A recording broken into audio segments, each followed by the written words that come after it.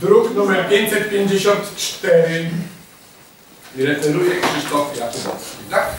Uchwały dotyczy ustalenia zawodowej dla zamierzenia inwestycyjnego wyrażeń budowy budynku rodzinnego mieszkania szybowego wyrażeń podziemny na działce numer 2 przez 0 do 10 Wygorza oraz infrastrukturę techniczną na działkach y, wymienionych z wjazdem ulicy Jesienowej, y, działka numer 468 Oglębia Wyżej w Krakowie 10 Wygorza. Y, Paragraf pierwszy. Opiniuje się pozytywnie wniosek o uchwalenie zawodowej dla zamierzenia inwestycyjnego wyrazem budowy rodzinnego mieszkania na działce przez 2,10 km wraz z infrastrukturą techniczną na działkach wymienionych z wjazdem z ulicy Jesionowej przez działkę nr 468 Krwocze. Uzasadnienie. Stanowienie budowy rodzinnej nie budzi zdecydowanych zastrzeżeń. Tutaj podobnie jak w takich przypadkach innych niedawno chyba też miałem kłopot, bo muszę pisać uzasadnienie pozytywne, natomiast tutaj konsekwentnie byłem raczej przeciwko. Ponieważ no jest to zabudowa choć y, skromna i stanowana, to jednak wielorodzinna. No i ze względu na to, To jest y, na składzie budowlanym. Aha, czyli dalej, no, prawie przy tym. No, no dowodnie na składzie budowlanym. A nie budynku, bo to, to jest stanowane.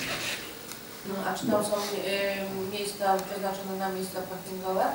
Czy zasięgność jest na pewno.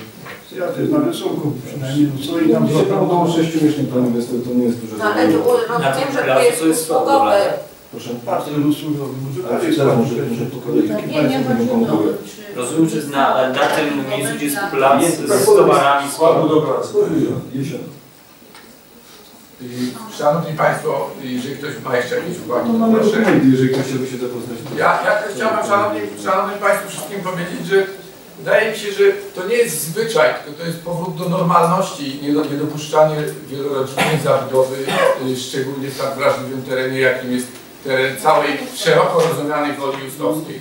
Y, Mam takie poczucie, że godząc się uchwałami na y, zabudowę wielorodzinną, podpisujemy się pod tym, co się stało przez ostatnie lata. A prawda jest taka, że zwróćcie uwagę, nawet plan Piastowska, który był robiony, nikt z planistów, jak i z radnych miejskich, dzielnicowych nie patrzył przez to, że udało się kilku deweloperom zbudować wielorodzinną zabudowę, tylko jednak to, co zostało, staramy się cały czas chronić, żeby powstawała jednorodzinna zabudowa. To nie jest wina radnych, yy, że w tym 2002 czy 2004 roku pan minister Pol zniósł wszystkie plany w Polsce i tak naprawdę to było, nie boję się nazwać przestępstwem na naszej tkance, naszej dzielnicy, że zniesiono te plany. Dlatego ja nie ukrywam, że osobiście jestem za tym, żeby zagłosować negatywnie i składam poprawkę, aby zmienić na opiniuję się negatywnie wniosek o ustalenie warunków zabudowy. Y, Taką poprawkę składam. Y, Tak, i wtedy uzasadnienie oczywiście wykreślimy to, które jest, daje nam to szansę rozmowy też y, z deweloperem, czy tam z prywatnym inwestorem w architekturze kolejną. Y, Zawsze może coś można wynegocjować jeszcze tu. Proszę bardzo, Marek. E, Oczywiście, że możemy demokratycznie podjąć uchwałę i wszyscy się z tym zgodzą. Natomiast tam jest sprawa jakby szczególna, ponieważ jest to skład budowlany, który ani już nie pasuje do ani zabudowy mieszkaniowej wielorodzinnej, ani do widnowej, ani jakiejkolwiek innej. Po prostu jest tam ogólny bałagan, rury, deski i wszystko co leży na kupie i jeśli tylko się uda to wywalić tam, to, to będzie bardzo dobrze. No ale I to jest szczególny mój ja, przypadek. ja wiem, ale to plan budowlany można zlikwidować i zbudować dwa domy jednorodzinne. No, na tyle działka pozwala. Ale to Znaczy, ja taki wniosek, taką poprawkę składam, a Państwo oczywiście zagłosujcie, jak uważacie, zgodnie z sumieniem. Ewa i Paweł. Proszę bardzo. Znaczy nie zgodzę, bo mieszkam niedaleko i wiem, że tam nie ma żadnego. Po prostu jest, no jak, no to no, Kupowałem tam cały czas. no wiesz,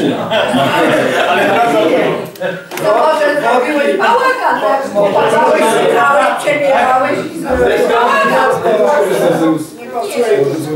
Nie, no, ale no, przepraszam bardzo, ale skład budowlany też jest e, potrzebny. To, tam tyle lat jest skład No, no to wiesz, no a gdzie teraz będzie budowlany? Dobrze, y, Paweł, przepraszam, przepraszam, proszę się zgłosić do głosu, to teraz Pan Paweł Kajfa. Znaczy też warto byłoby wiedzieć o czym my tutaj mówimy w tym projekcie uchwały, bo tutaj widzimy sam adres i jakieś numerki działek, a z tego co pamiętam na komisji, tym też teraz Krzysztof przypomniał, to tam mówimy o zabudowie na 600 metrach kwadratowych, więc tam maksymalnie nie wiem ile byłoby tych mieszkań przy tej zabudowie, już jest 8 i warto też dodać, bo y, Krzysztof jest ortodoksem co do tych budów jednorodzinnych, ale nawet on się skłaniał co do tego, że po prostu, że przy takich rozmiarach byłby stan y, skłonny poprzeć nawet ten projekt, Gdybym nie miał charakteru. ale tego nie komisji. Nie miałem śmiałości. Proszę, Krzysztof Kwaczek. Na pewno warto podkreślić, że tam ta zabudowa, jeżeli chodzi o gęstość zabudowy w stosunku do działki jest dosyć e, w porządku. Na, na, na, fajnie by na, na osiedla i ulice zupełnie inaczej wyglądały, gdyby inwestorzy w taki sposób, jak ten inwestor postępowali, czyli nie wciskali na siłę, tam jest dużo przestrzeni. Wydaje mi się, że pod, pod tym wzglę- względem za tą inwestycją przemawia to, że właśnie koncentracja tej zabudowy jest dosyć mała, jest tam mm, w stosunku do wielkości działki. Mm, A nie oszukujmy się, przy cenach gruntów w tamtym rejonie, tam raczej zabudowa jednorodzinna ma małe szanse na yy, coraz mniej- mniejszy popyt jest na zabudowę jednorodzinną, bo ceny takich domów jednorodzinnych są tak duże, że nie będzie inwestorów, którzy będą chcieli budować na takich terenach, bo szansa sprzedaży tak, Nieprawda, otrącę ten projekt. Szanowni Państwo, Jest odwrócenie tendencji. Ja pozwolę sobie jeszcze raz zabrać głos. Y, To prawda jest, to prawda jest to, co, co mówisz Krzysztof, to, jest, to się z tym zgadzam, tylko że prawdą też jest, że ja zadaję pytanie, to dlaczego w planie Piastowska, który w połowie tereny są już zabudowane wielomieszkaniówką, jednak walczymy o zabudowę jednorodzinną. I teraz mieszkańcy też chodzili na posiedzenia Komisji Planowania i Rady Miasta i próbowali wylobbować, żeby ich tereny były tak jak u sąsiadów wielorodzinne. Szanowni Państwo, naprawiajmy tą dzielnicę, a nie psujmy ją dalej. Taki jest mój apel do Państwa. Proszę bardzo, Filip, potem Łukasz.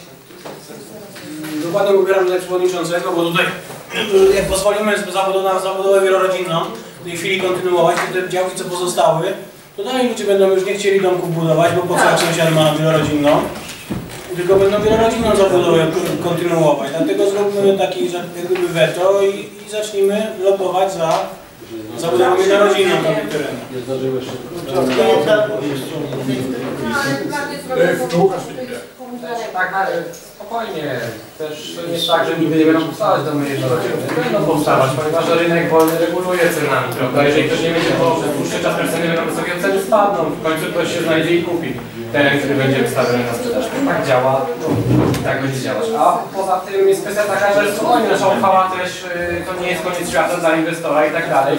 Nasza skuteczność jest y, powiedzmy ograniczona, a daje dalej możliwości jeszcze rozmowy i wpływania y, na inwestora właśnie, tak było powiedziane. Być może zreflektuje się przed zmieni koncepcji i powstanie tam jakiś bliźniak, czy dwa bliźniaki, tak, czyli cztery tak naprawdę domy na przykład, lub coś innego. A, a, a jeżeli będzie chciała, będzie zdeterminowane zbudować, to prawdopodobnie i tak zbuduje, nawet jeżeli damy opinię negatywną. Co z drugiej strony też pokazuje, że Rada Dzielnicy jako reprezentanci e, mieszkańców e, są przeciwni zabudowie wielorodzinnej z zasady na Woli Justowskiej. No bo dało to w Warszawie, dało nic do tego. Krzysztof Placiak, z punktu widzenia, ja rozumiem te argumenty przeciwko zabudowie wielorodzinnej, te, te rozumiem pewną wartość tych terenów, ale z punktu widzenia gabarytów zewnętrznych tego budynku, ten budynek zupełnie się nie różni od właśnie takiego bliźniaka, bo to jest jakieś 500-600 metrów kwadratowych i to jest takie, nie wiem, z punktu widzenia gabarytów tego zewnętrznego piętra, nie wiem, no.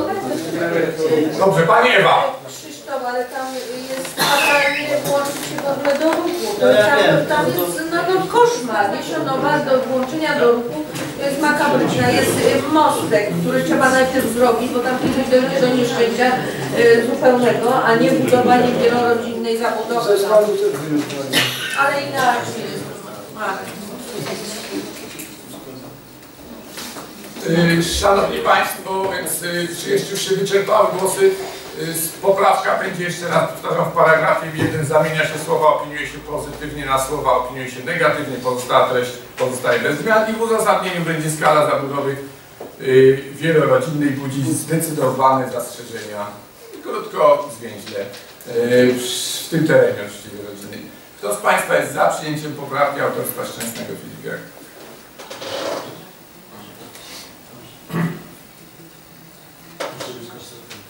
Kto jest przeciw? Kto się wstrzymał?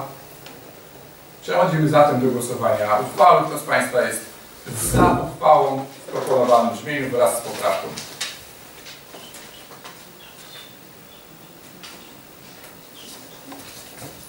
Kto przeciw? Kto się wstrzymał? Dziękuję. Uchwała została przegłosowana.